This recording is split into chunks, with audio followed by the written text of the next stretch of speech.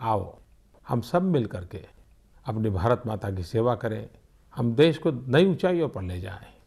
हर कोई एक कदम चले। अगर आप एक कदम चलते हैं, देश सवा सौ करोड़ कदम आगे चला जाता है।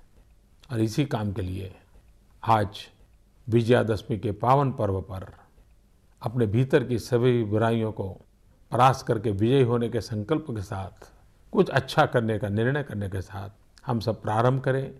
Bye.